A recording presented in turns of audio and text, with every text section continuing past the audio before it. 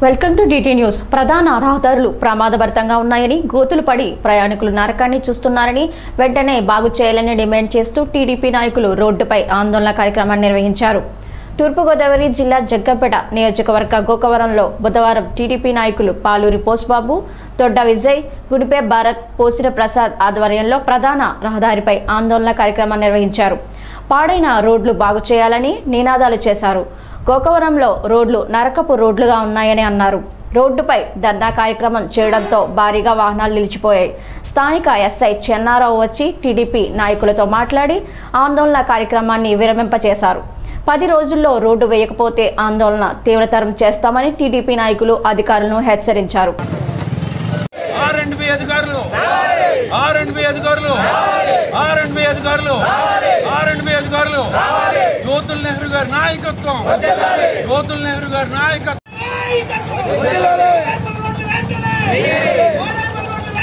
RMP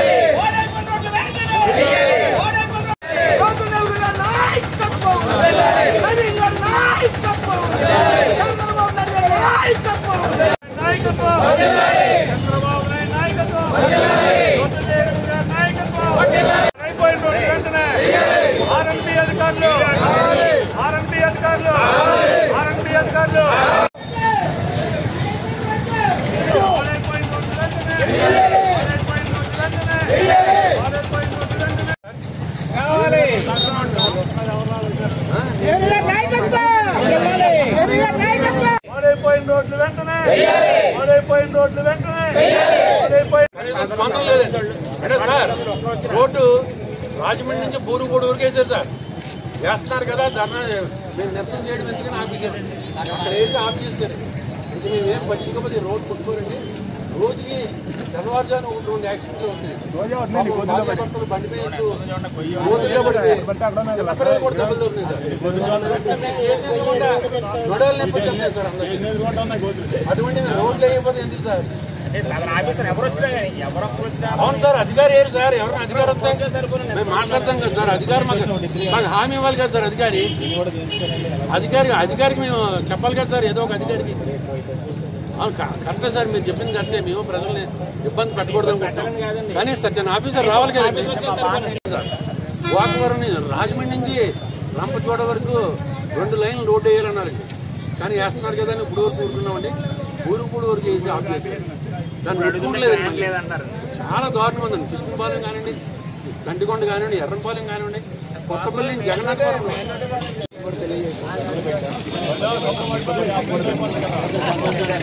మాకు ఎవరైనా అధికారులు తీసుకురండి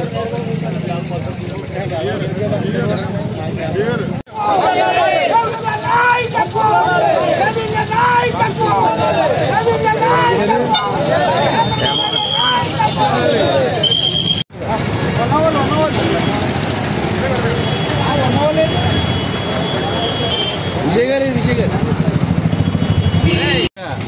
పత్రికా సోదరులందరికీ ధన్యవాదాలు తెలియజేస్తున్నాను. ఎందుకంటే ప్రతి సమస్య మీద కూడా బాగా పోరాడుతున్నారు మీరు.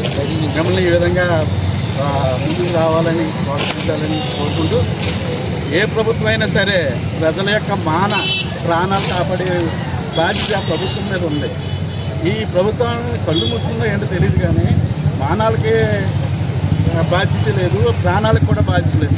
ఈరోజు స్టేట్ వేడిగా ఏ రోడ్డు చూస్తున్నా సరే కొన్ని వందలాది మంది యాక్సిడెంట్లు చనిపోతూ ఉన్నారు అది పక్క పెడితే ఈ ప్రభుత్వం అసలు ఒక సిస్టమ్ పెట్టైనా ఈ జ్యోతులు కప్పెట్టడానికి చేస్తుందా? చెయ్యదా? లేదంటే మా తెలుగుదేశం పార్టీ తరఫున ముందుకు వచ్చి మేమే చేసుకోవచ్చా? అది ఈ పద్దెనిమిది అడుగుతున్నాం. దానికి సమాధానం చెప్పాలి. నెక్స్ట్ ఇప్పుడు రైతులు చాలా ఇబ్బందులు పడతా ఉన్నారు.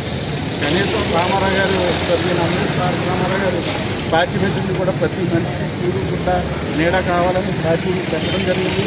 అది చాలా వరకు సక్సెస్ఫుల్గా నడిచింది.